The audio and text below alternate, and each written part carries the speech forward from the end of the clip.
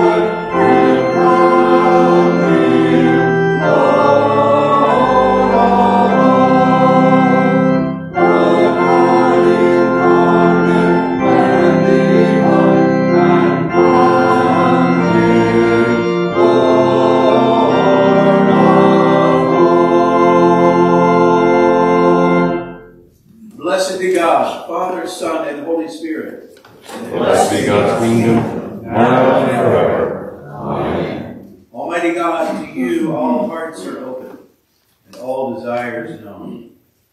And from you no secrets are hidden. Cleanse the thoughts of our hearts by the inspiration of your Holy Spirit, that we may perfectly love you and worthily magnify your holy name. Through Christ our Lord. Amen. The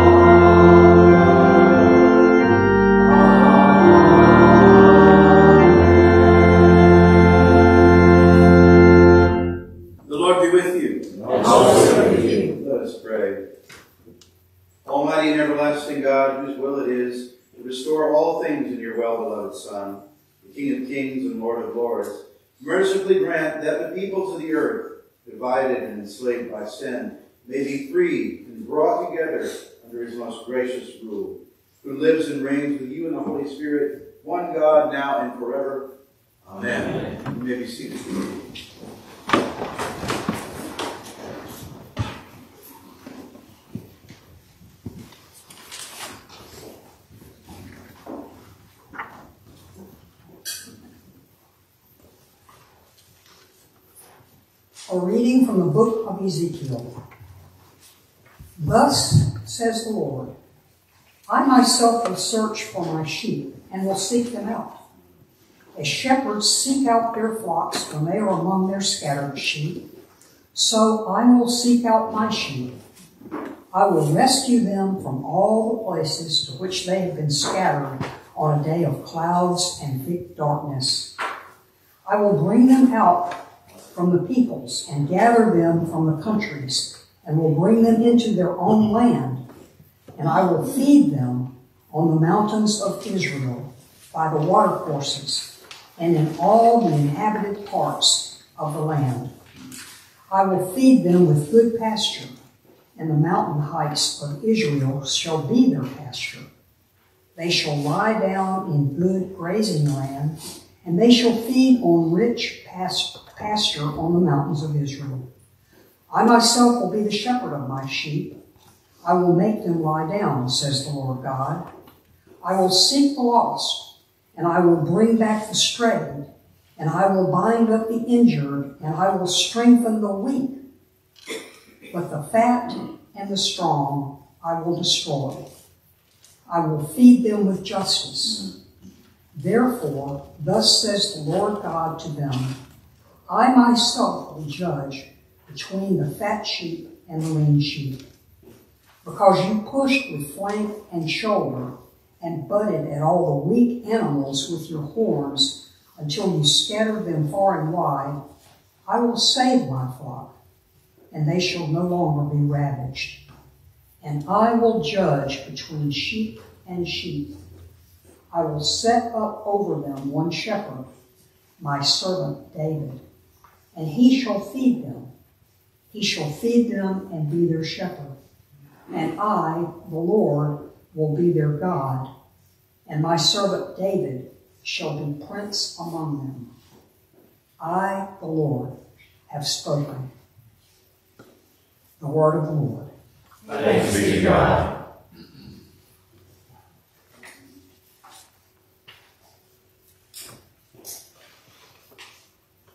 Psalm 100, read responsibly by the half verse. Be joyful in the Lord, all ye lands. Serve the Lord with gladness, and come before his presence with a song. Know this the Lord Himself is God. He himself has made us, and we are his. We are his people and the sheep of his pasture. Enter His gates with thanksgiving, go into His courts with praise. Give thanks to him and call upon his name. For the Lord is good, His mercy is everlasting. His faithfulness endures from age to age.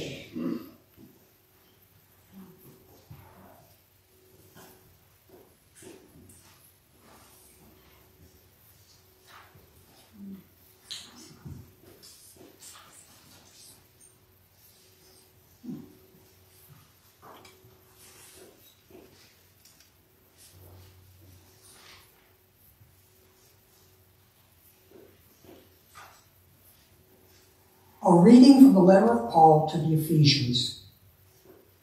I have heard of your faith in the Lord Jesus and your love toward all the saints. And for this reason, I do not cease to give thanks for you as I remember you in my prayers. I pray that the God of our Lord Jesus Christ, the Father of glory, may give you a spirit of wisdom and revelation as you come to know him, so that with the eyes of your heart enlightened, you may know what is the hope to which he has called you, what are the riches of his glorious inheritance among the saints, and what is the immeasurable greatness of his power for us who believe, according to the working of his great power. God put this power to work in Christ when he raised him from the dead and seated him at his right hand in the heavenly places, far above all rule and authority, and power and dominion, and above every name that is named, not only in this age, but also in the age to come. And he has put all things under his feet, and has made him the head over all things for the church, which is his body, the fullness of him who fills all in all. The word of the Lord. Thanks be to God.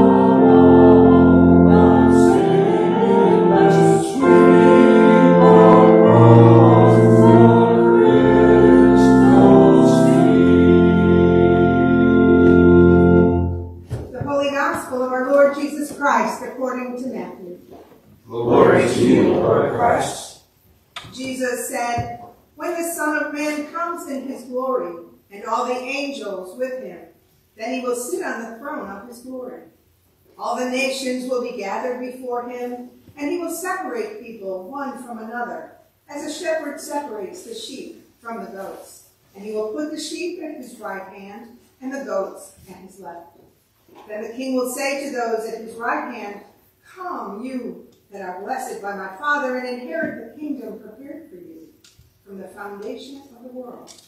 For I was hungry, and you gave me food. I was thirsty, and you gave me something to drink. I was a stranger, and you welcomed me. I was naked, and you gave me clothing. I was sick, and you took care of me. I was in prison, and you visited me. Then the righteous will answer him, Lord, when was it that we saw you hungry and gave you food, or thirsty and gave you something to drink? And when was it that we saw you a stranger and welcomed you, or naked and gave you clothing? And when was it that we saw you sick or in prison and visited you? And the king will answer them, Truly, I tell you, just as you did it to one of the least of these who are members of my family, you did it to me. Then he will say to those at his left hand, You that are accursed, depart from me into the eternal fire prepared for the devil and his angels. For I was hungry, and you gave me no food. I was thirsty, and you gave me nothing to drink. I was a stranger, and you did not welcome me. Naked, and you did not give me clothing. Sick and in prison, and you did not visit me. Then they also will answer, Lord, when was it that we saw you hungry or thirsty or a stranger or naked or sick or in prison and did not take care of you?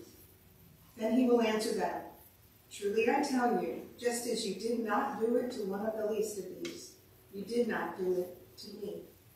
And these will go away into eternal punishment, but the righteous into eternal life. The Gospel of the Lord. Praise to you, Lord Christ.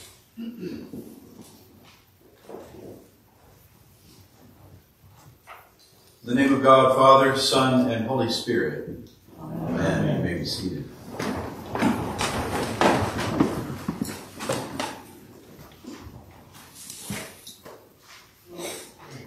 It was the last parable Jesus would give before his crucifixion. This entire conversation we've been following now for weeks through the Gospel of Matthew was essentially in response to the two questions that the disciples asked Jesus after he foretold the destruction of the temple in Matthew 24. Their first question was, understandably, when will this be? And the second one was, what will be the sign of your coming and of the end of the age?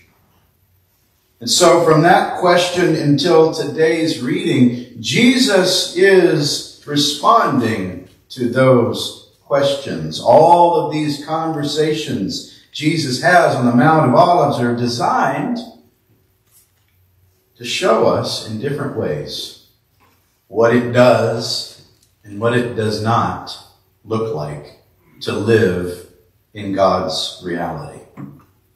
A reality that the Bible calls the kingdom of heaven. To begin with, I think that it's important to understand what Jesus means by this phrase, the kingdom of heaven. We see it so much and we talk about it so often that it's easy to gloss over it and assume that Jesus is talking about some far off reality that occurs after he comes back in the future.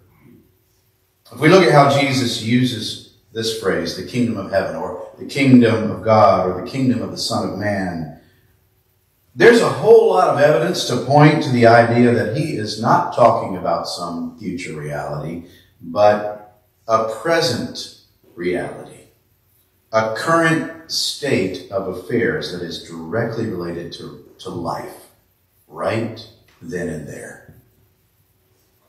Because Jesus is there, the kingdom of heaven has come to earth.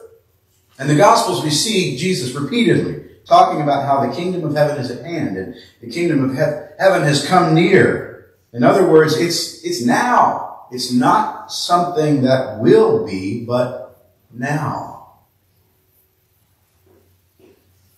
It's important to understand because in today's parable, Jesus talks about the separation of the sheep and the goats based on how they treated others who were in need. We read that the sheep, of course, inherited the kingdom prepared for them for the, before the foundation of the world. So they showed themselves a part of the present reality of the kingdom of heaven by taking care of the least of those around them and ultimately taking care of Jesus, right? But the goats, who did not care for the needy among them and in turn did not care for Jesus, departed from the kingdom of heaven and instead um, went into eternal fire prepared for the devil and his angels. Now, I want to put on the brakes here for a second. This parable, even though it sounds incredibly apocalyptic to our modern ears, is not, in my opinion, a parable about the goats going to hell for all eternity. In order to understand that conclusion that I'm making, it's, a, it's necessary to put together two ideas. You've got the idea of the kingdom of heaven being a present reality because Jesus is there among them. And you've got the idea that it is possible for people to choose to live in a way that is contrary to the teachings of Jesus and contrary to the kingdom of heaven. Just like the kingdom of heaven prepared for us before the foundations of the world is present and available to us now through Jesus, the eternal fire prepared for the devil and his angels is available as a present reality that people can choose to live in now. I mean, we see people who choose to live that way every day around us. And Jesus is outlining here two different kingdoms with two very different citizens and outcomes. One of the problems that comes with assuming that Jesus is talking about this far off punishment coming for the goats among us or a reward coming for the good sheep when we die is that it removes the present expectation for the way and the teachings of Jesus to make an impact in our lives now. If our only focus is on some distant future event, then it's really, really easy to just keep on going day in and day out, living however we want. I mean, we'll get to acting like sheep eventually, of course, but right now we're just going to act like Democrats or Republicans or Auburn fans or Alabama fans. You might know from listening to me talk week after week that I think translations are a pretty big deal when we study the text of the Bible. If we aren't careful, we'll end up getting attached to various translations that can sometimes prevent us from opening our hearts up to the ocean of meaning and wisdom that can come from Scripture. It's pretty difficult at times to pinpoint an exact and absolutely correct translation of a word because of how descriptive and nuanced and beautiful the Greek language is. The Greek word for this lightning term, punishment, that comes at the end of our reading today is kolasis. And as it turns out, some scholars argue that punishment is not the best translation. Kolasis carries with it an idea of pruning, of being cut back, with an expectation of restoring to health what is being pruned. This word is only used one other time in the New Testament in 1 John where we read about how punishment is related to fear and how the perfect love of God casts out all fear. It's used quite a number of times, as you might imagine, in the Hebrew scriptures, the Old Testament, usually in reference to what happens to the children of Israel when they disobeyed God. Over and over and over again, they mess up and God gives them over to destruction and punishment only to raise them up again and to restore them to another chance at participation in the kingdom of heaven. Rather than talking about a future punishment in the fires of hell, I think Jesus is talking about the destruction that happens in our societies and in our hearts when we choose not to take care of the poor and the needy in our midst. This pruning punishment happens in order to ultimately restore the kingdom of heaven and to ensure the care of everyone because we are all of us co-heirs of Jesus and beloved children of God.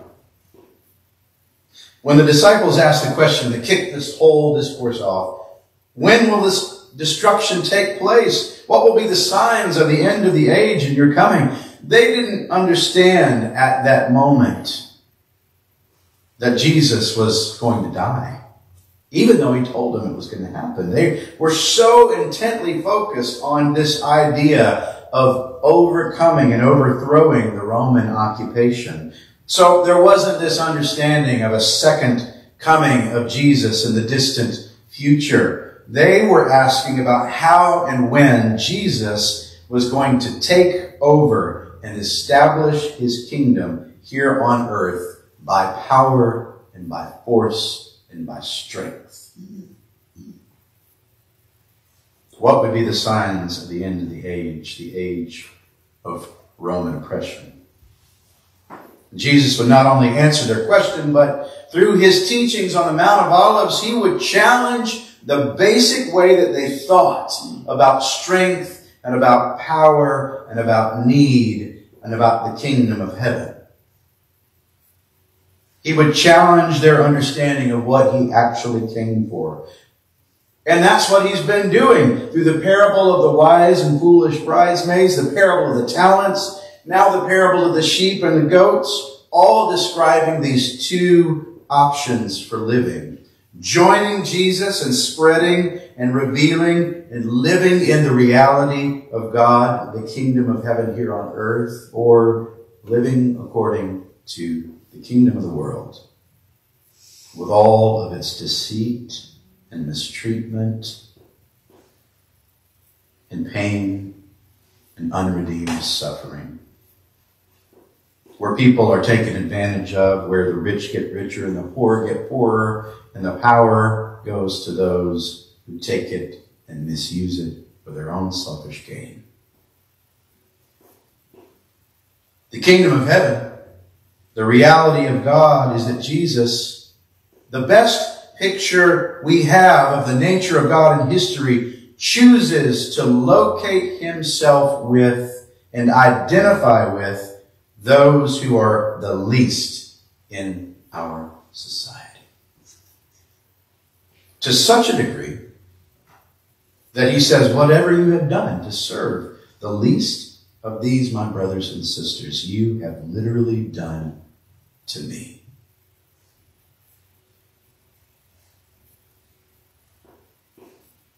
Matthew consistently brings back to my mind what Scripture says about Jesus. Let the same mind be in you that was in Christ, who, though he was in the form of God, did not regard equality with God as something to be exploited, but emptied himself, taking on the form of a slave and being Born in human likeness and found in human form, he humbled himself and became obedient to the point of death, even death on a cross. We should make no mistake this morning on the feast of Christ the King that Jesus, the suffering servant, does not side with power.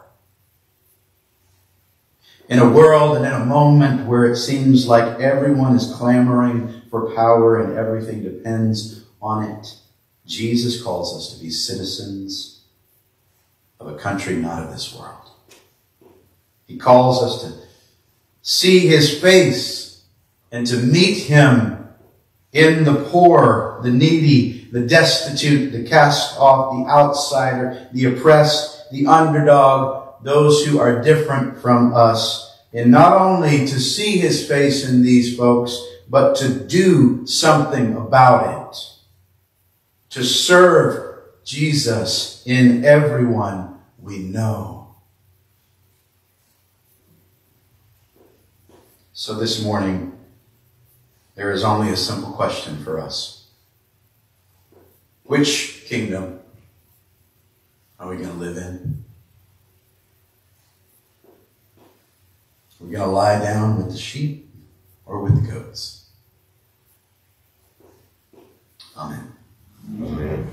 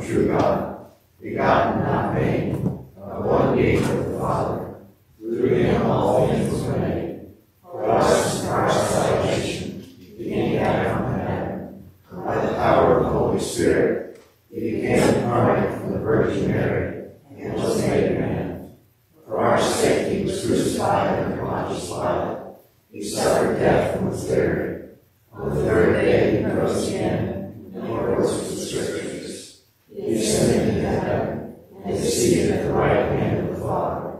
He will come again in glory to judge the living and the dead, and his kingdom will have no end. We believe in the Holy Spirit, the Lord, the giver of life, who proceeds from the Father and the Son. With the Father and the Son, he is worshipped and glorified. He has spoken to the prophets. We believe in one holy Catholic and Apostolic Church. We acknowledge one baptism for the forgiveness of sins. We look for the resurrection of the dead and the life of the world to come. Amen. You may be seated for the prayers of the people.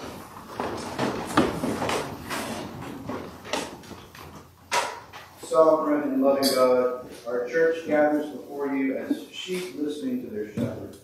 Give us a spirit of wisdom and revelation as we come to know our Savior Jesus Christ, as we bring before you our prayers and intercession, saying, For you are our God, we are the people of your the sheep of your. Your church is Christ's body, O gracious one, the fullness of him who fills all in all. Inspire our service to the least of these, that we may feed the hungry, give drink to the thirsty, welcome strangers, clothe the naked and visit the imprisoned as faithful servants of the hope to which Christ has called us. For you are our God. We are the people of your pasture the sheep of your hand. Gather the nations before you, O sovereign one, to feed your creation with justice, for you are our God. We are the people of your pasture the sheep of your hand. Look upon all the people of the earth, O compassionate one, to seek the scattered and feed them with good pasture. Lie them down Let them lie down in good grazing land, where the, their God may be their shepherd. For you are our God. We are the people your master, and the sheep of your hand. Enlighten the eyes of the hearts of the people of this community, that we may live in the hope to which Jesus has called us, and put power to work in Christ. For you are our God. We are the people your master, and the sheep of your hand. Seek the lost, O loving one, bring back the strayed, bind up the injured, and strengthen the weak, especially those for whom we offer intercession. We pray especially for the family of Blaze Ledette, Ashley, the family of Brenda Myers, Brenda, Judith, George, Bill, Jolynn, Franklin, George, Chloe, Molly, Casey, Cody, Sophia, Tanya, Carol, Ryan, Rhea and Larry, Tim and Robbie, Dan, Leslie, Kathy and Tony, and all those in need of prayer. Are there others? We also pray for those on our long-term prayer list. Russell, Rosellen, Denson, Cynthia, Stephen, Judd, Margaret, John, Donna, Kristen, Chuck, Martha, Adrian, Will, Kermit, Ivan, Dean, Janet, Jean, Tom, Pat, and Francis. We pray for all first responders and all in the armed forces and for their families. Joe, Tim, Christopher, Lewis, Patrick, Brandon, Ashlyn, Sarah Grace, Bernie, John, Hunter, Joey, Austin, Julian, Eric, Zane, and all in harm's way. Are there others? In the diocesan cycle of prayer, we pray for our fellow parish of the Christ the King in Santa Rosa Beach, Florida. We pray for the victims of crime everywhere, for the inmates and staff of the Wilcox County Detention Center in Camden, Alabama, and for their families. In the Anglican cycle of prayer, we pray for the Diocese of Idaho. We pray for all people affected by natural disasters and war. Accept our thanksgiving for all the goodness of life, especially the wedding anniversary of Jerry and Frank. Bring those who have died to the riches of Christ's glorious inheritance among the saints, especially Rosalynn Carter, Blaze Ledette, and Donna Esslinger. May all humanity inherit the kingdom prepared for us from before the foundation of the world. For you are our God. We are the people of your master, and the sheep of your hand. You are our God, the gracious shepherd, and you care for all your sheep. Lead your creation to fullness of your compassion, that with the eyes of our hearts enlightened, all people may know the kindness of your care and the riches of your glory. Through Jesus Christ our Savior, who with you and the Holy Spirit lives and reigns, one God, forever and ever. Amen. Every once in a while, I'm moved to make a comment about one of the aspects of our common liturgy work together. And this morning, I thought it would be appropriate to just make a mention real quickly as we go through our confession and our absolution. Uh, sometimes it's easy to think that what is happening here is that we are trying to keep our sin account list short so that God approves of us. I don't think that's what's going on, just so we're clear. Um, what happens in our absolution and confession is that we are bringing ourselves transparently before the everlasting love and forgiveness of God. And so uh, when we make that confession together, we are agreeing that this is the nature of our broken humanity and our, our nature. And at the same time, when I pronounce an absolution over you, there's no power within me to forgive you of your sins. I have been charged with the responsibility of proclaiming the reality of the kingdom of heaven over you you. And so sometimes it's helpful just to think of things in that way. Consider it just a moment of, of teaching. Maybe I just needed to be reminded of that. But as we enter into our confession and absolution, I invite you to remain seated, to stand, or to kneel as is your.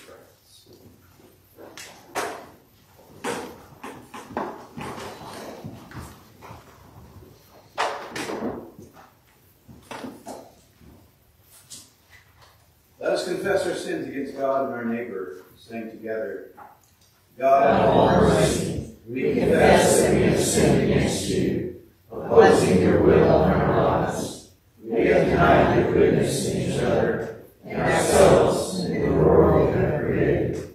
We repent of the evil that enslaved us, the evil we have done, and the evil done on our behalf. Forgive, restore, and strengthen us through our Savior that we may abide in your love and serve only your will. Amen.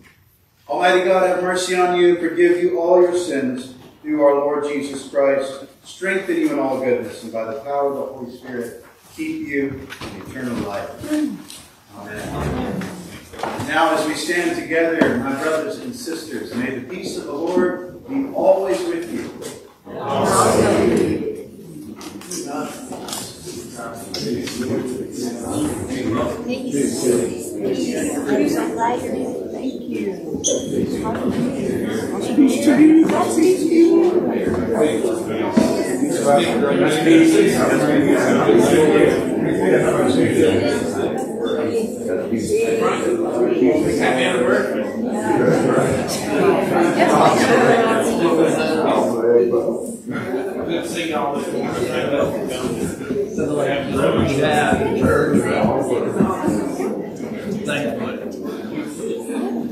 Once you're done peacing, you can be seated.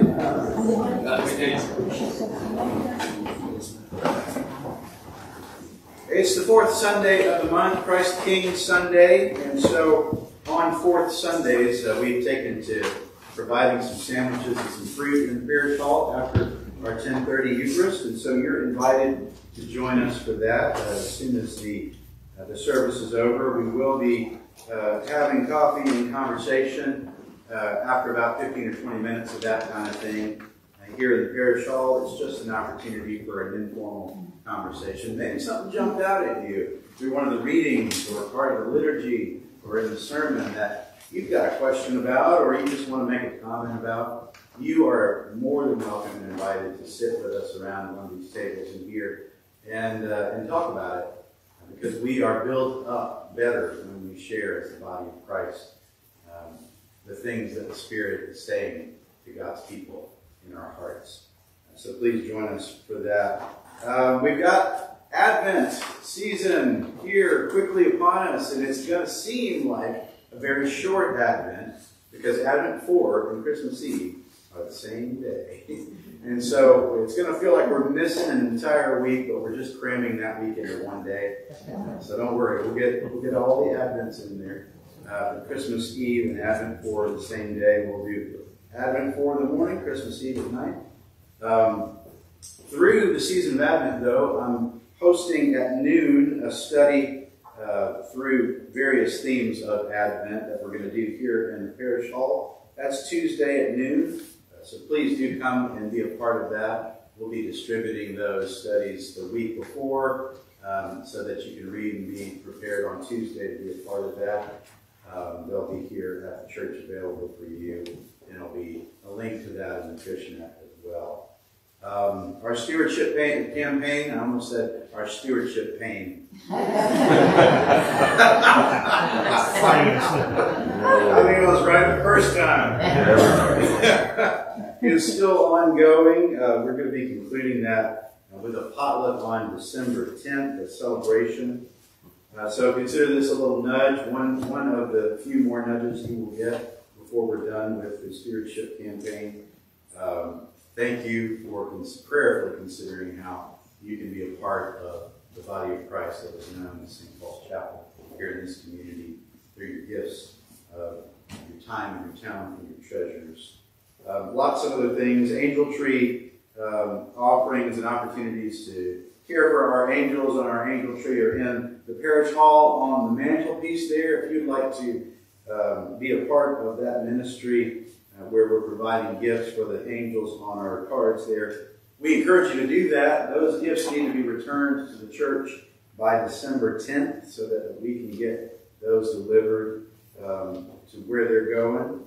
And then uh, there's lots more that you can read all throughout the rest of this, um, this, this leaflet. At Lessons and Carols are coming up December 3rd at 4 p.m. sandwiched in between Cookies with Santa and the lighting uh, of the tree. And so we're going to be a part of that in our community. Please come and be a part of that uh, and celebrate with us as we do every year.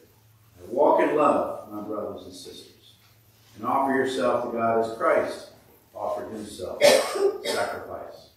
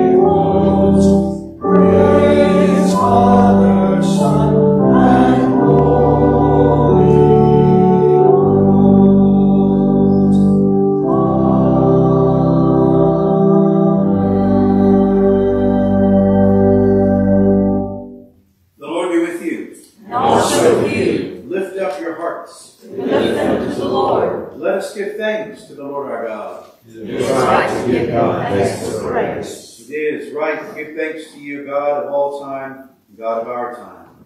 We are grateful for the ways you've been revealed to us in the past, through the memories of life that have shaped us into who we are today, and through a shared hope for the consolation and redemption of the world through our Lord Jesus Christ. Confident of your love, we bring our whole selves into your presence, our achievements and our failures, our proud moments and our hidden shame, our undying dreams and our steadfast resolve. At this table of grace and goodness, we meet you through a sacred communion with all of creation. And so this day we join with saints and angels in the chorus of praise that rings through eternity, lifting our voices to magnify you as we sing.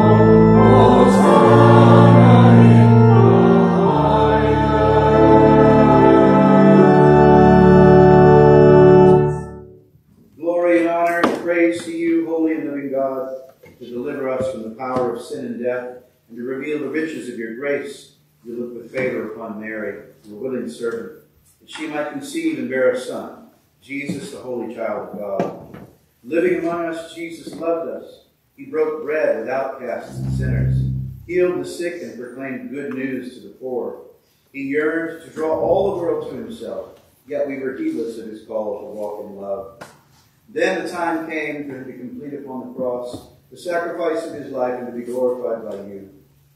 On the night before he died, Jesus shared a meal with his friends. He took bread, gave thanks, broke it, and gave it to them, saying, Take, eat.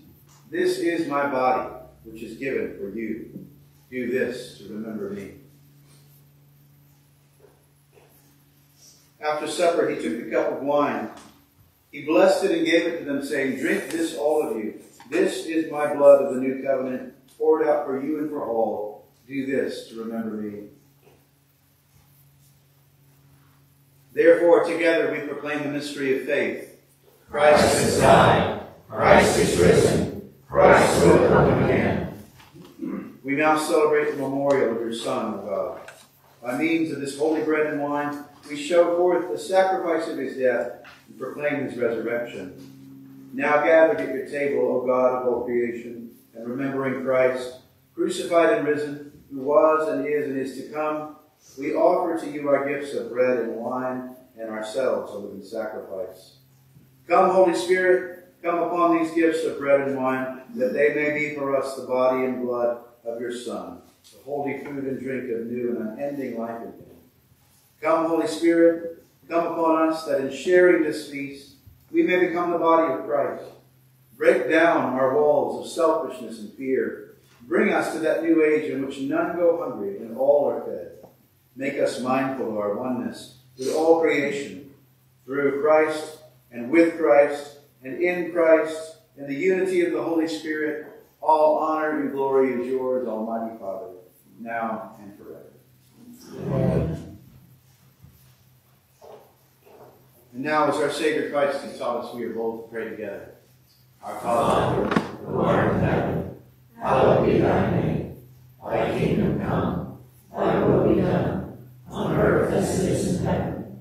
Give us this day our daily bread, and forgive us our trespasses, as we forgive those who trespass against us. And lead us not into temptation, but deliver us from evil. For thine is the kingdom, the power, and the glory, forever and ever. Amen.